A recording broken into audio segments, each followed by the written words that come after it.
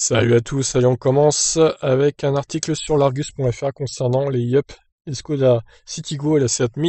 Peut-on encore les commander? C'est la question que je me pose depuis plusieurs jours là, et vous avez trouvé un article qui en parle, donc euh, on va lire ça.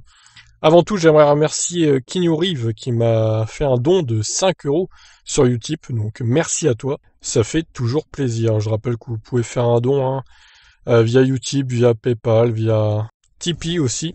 Tous les liens sont dans la description de chacune des vidéos qui est postée sur la chaîne. Alors, très proche dans tous les domaines, les Volkswagen e-Up, Seat Mi, électrique et Skoda Citigo proposent une belle autonomie à un tarif canon. Mais pour profiter de ces qualités, encore faudrait-il pouvoir les acheter. Ce qui ne sera pas forcément une simple formalité, l'Argus fait le point. Arrivée d'une nouvelle batterie à capacité record pour la catégorie, baisse drastique de prix dans le segment des mini-citadines, le groupe Volkswagen a frappé fort fin 2019. Alors qu'elle était restée confidentielle jusqu'ici, l'IUP est soudainement devenue l'une des voitures électriques les plus pertinentes du marché. Un constat d'autant plus valable que pour ses jumelles Seat Mi et Skoda Citigo, au tarif encore plus serré. Hélas, une fois les premiers essais plutôt élogieux passés, les choses se sont vite gâtées. La Citigo a en effet vu sa production arrêtée à la fin de l'été 2020, car le quota prévu pour l'Europe avait été atteint. Alors on espérait un retour pour 2021, mais ce ne sera finalement pas le cas, du moins pas en France. L'an prochain, elle reviendra seulement sur certains marchés comme l'Allemagne, la Norvège ou la République tchèque. Ah putain, dommage. Vous ne trouvez pas le bonheur parmi les quelques exemplaires en stock sur le site Skoda, il reste alors la possibilité de vous tourner vers la e-Up et la Seat.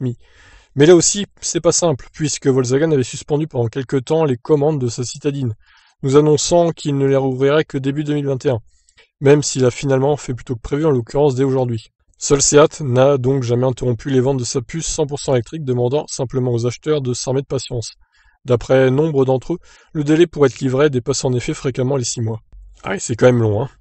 Depuis qu'elle a adopté une batterie de 32,3 kWh, la triplette du groupe Volkswagen semble donc être victime de son succès, mais avec 13 231 exemplaires immatriculés en Europe entre janvier et septembre 2020, l'IUP ne fait pas mieux qu'une BMW i3 et une Renault Zoé, bien plus cher. Donc la Zoé s'est vendue à 50 000 acheteurs de plus en Europe.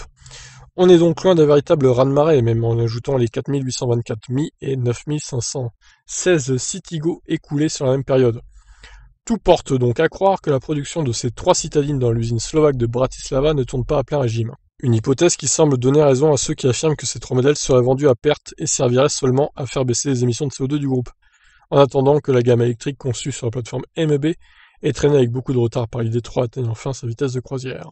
Bon, bah voilà, donc euh, finalement tout n'est pas noir. Donc en gros la Skoda Citigo on peut plus la commander en France. Par contre, ils ont rouvert les commandes de la IOP et euh, la Seat Mi apparemment elle a jamais été interrompue euh, la production. Donc selon ce qui est écrit, on peut encore au moins commander la Mi et la IOP du coup. Ça fait 2 sur 3, c'est déjà pas mal. Donc voilà, bonne nouvelle au final. Sur ce, je vous laisse réagir. Ciao ciao.